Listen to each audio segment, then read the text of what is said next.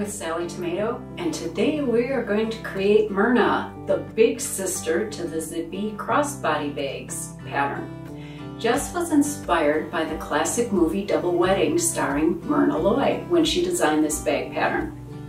We're sure this bag is going to be an endearing accessory in your wardrobe. This bag features an adjustable crossbody strap, two exterior zip pockets, an exterior slip pocket with an optional magnetic snap, and it's shaped with a box bottom that's fully lined. That may sound like a lot of details, but Jess has divided the instructions into easy to follow sections complete with illustrations. The pattern and your supplies can be purchased from our website or request them from your local quilt shop. Please try to support your local independent retailers whenever you can. So let's head over to the work table, open your pattern, and start your next classic bag project. The finished size of Myrna is 9 inches wide by 10 inches high by 1.5 inches deep, not including the strap. Before beginning, please review the recommended fabrics on the back of the pattern cover and take a minute to check for the pattern corrections on our website so you'll have the most current information. You'll need a main fabric, a contrast fabric, and a lining fabric. If you're using quilting cotton for the main or contrast fabric, you'll also want to have a fusible woven interfacing. Then you'll need three zippers and hardware, D-rings, swivel hooks, a slider buckle, and a magnetic snap. I'm also going to add a handmade label, a couple rivets, and a tassel with the tassel cap hardware just for extra style. The Sallie Tomato hardware and the zipper's nylon coils are coordinated so your bag will look perfect. Next, gather a few tools and notions to have ready. It's always good to put a new needle in your sewing machine and then select thread. I'll be using Sulky 40 weight Polydeco thread. It looks great for top stitching and is very durable.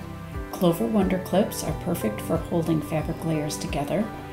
Chalk or removable pen for marking, basting tape, spray or glue, a stiletto, a zipper foot, Teflon foot, and if you're adding rivets and a tassel, You'll need a rotary punch, rivet setting tools, a Phillips head screwdriver, and hot glue.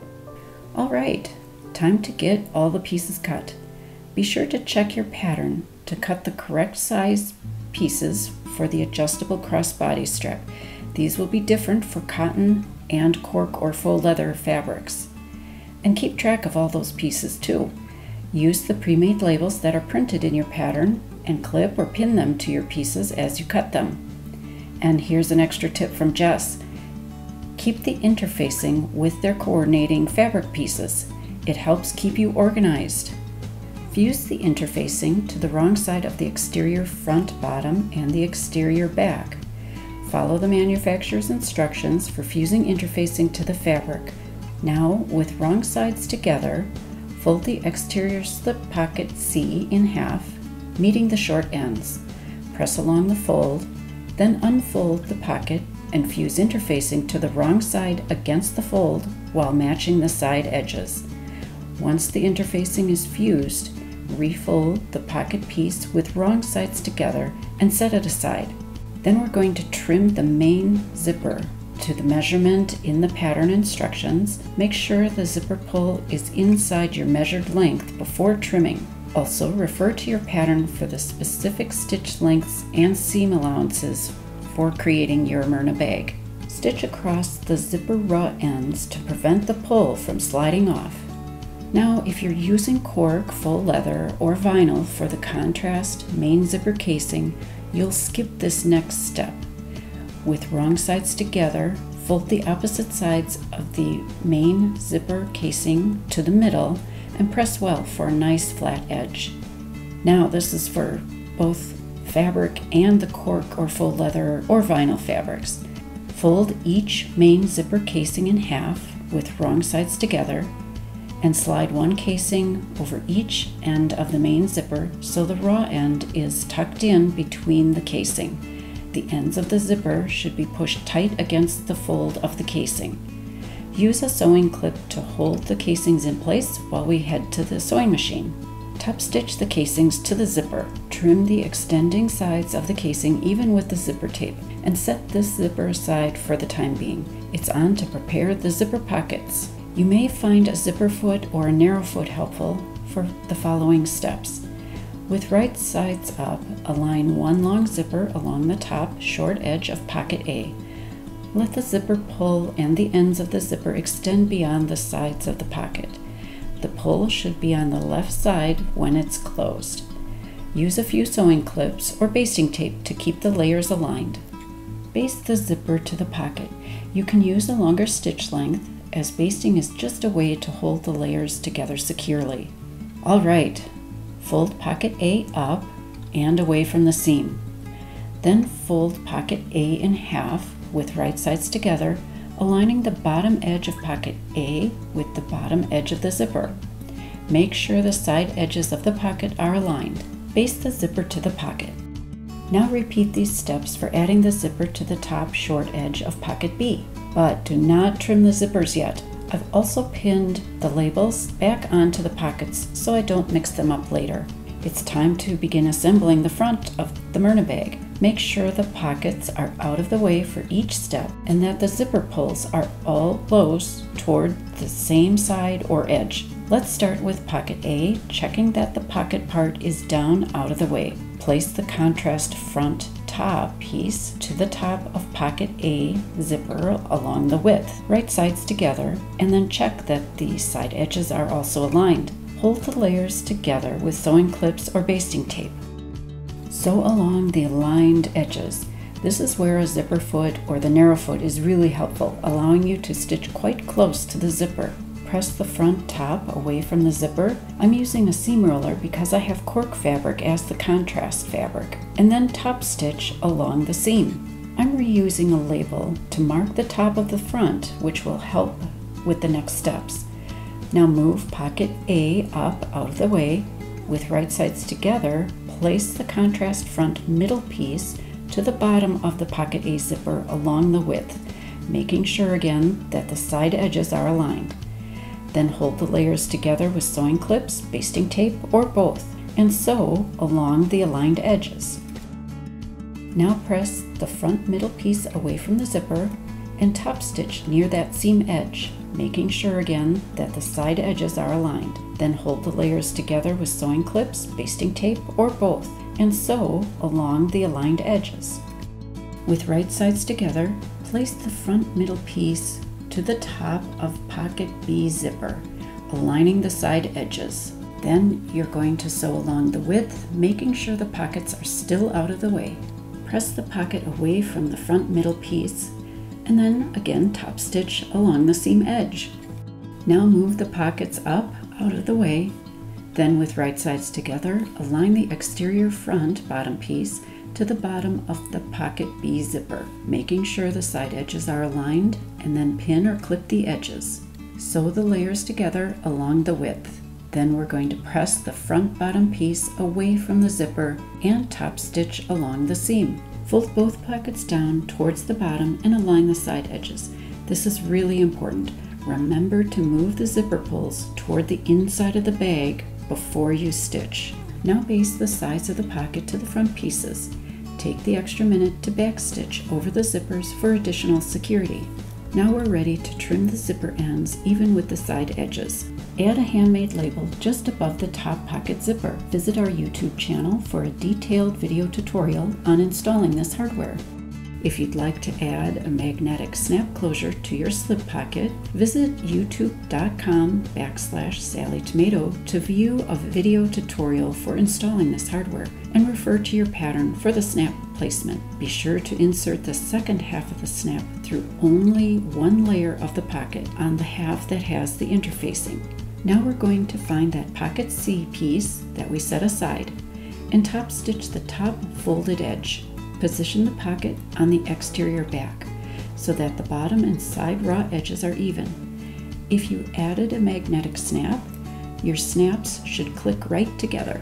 Baste the pocket in place along the sides and bottom edges. With wrong sides together, fold the long sides of the strap connector to the middle and then press. Fold the connector in half so the raw edges are then in the middle. Top stitch along each long side. Now subcut the connector piece into two pieces.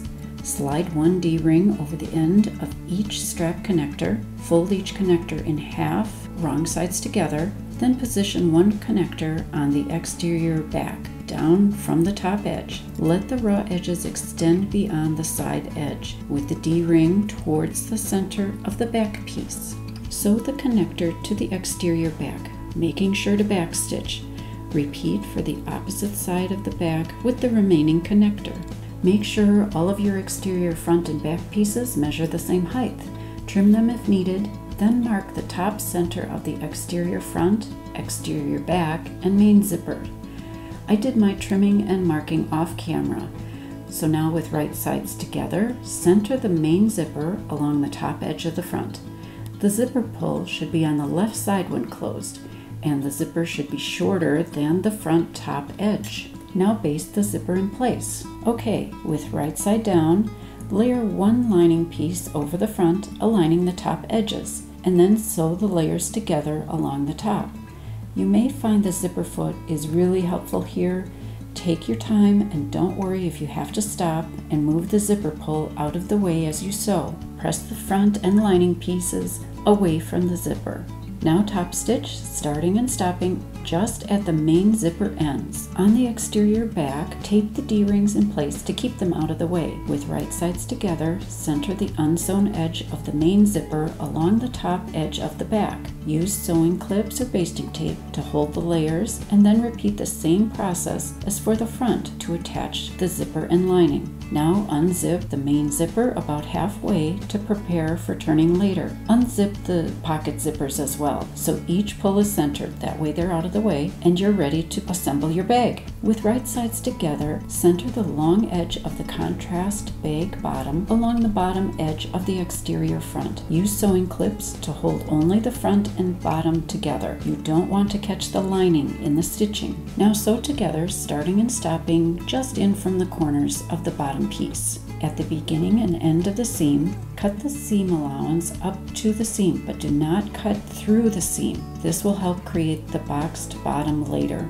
With right sides together, center the opposite long edge of the contrast bag bottom along the bottom edge of the exterior back. Use sewing clips to hold only the back and the bottom together, again keeping the lining out of the way. Sew together, again starting and stopping in from the short edges of the bottom piece. At the beginning and end of the seam, cut the seam allowance up to the seam stitching and repeat the same steps to attach the lining bag bottom to the lining front and back. For the lining seams, use the wider seam allowance listed in your pattern, starting and stopping again just in from the short edges.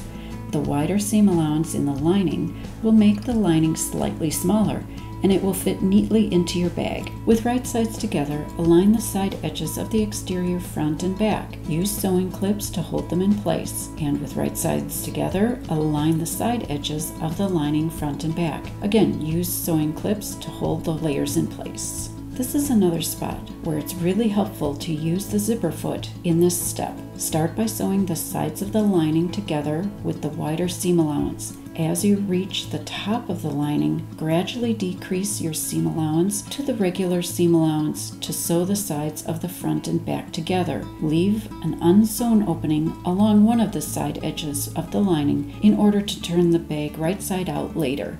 Trim the lining seam. Do not trim the seam allowance from the open section of the lining. Create a boxed bottom in each bottom corner of the exterior. With right sides together, match the side seam edge and the short edge of the bag bottom. Sew together to create the bottom corners of the bag. Make sure to backstitch at each end. Clip into the allowance and then you can also trim seam allowances and each corner to reduce the bulk. Do not cut through the seam and repeat these same steps to create the boxed bottom corners in the lining. However, this time sew the wider seam allowance for the lining seams. Trim the lining seam allowance and then turn the bag right side out by pushing the fabric through the unsewn section in the lining. Gently push out the corners to their final shape and hand sew or top stitch the opening in the lining closed. Now push the lining back inside the bag. Remove the tape from the D-rings if it's still holding them in place. Jess has a great video tutorial for creating the crossbody strap, and there are complete instructions in your pattern. And there are a few extra designer details that you can add. Small rivets at the strap ends and a tassel using the Sallie Tomato tassel cap hardware. Be sure to visit our YouTube channel for viewing video tutorials on using these hardware pieces. Your Myrna bag is completed and ready wherever you go. I love all the pockets and I know Jess would love to see photos of your Myrna, so tag us at hashtag Sallie Tomato and hashtag Myrna Bag to keep us inspired. Let us know if you found this tutorial helpful. We really do value your suggestions. So thanks for joining me and happy sewing!